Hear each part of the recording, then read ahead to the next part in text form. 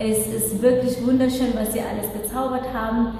Bleibt eure Werten treu, mach einfach so weiter und alles, alles Gute.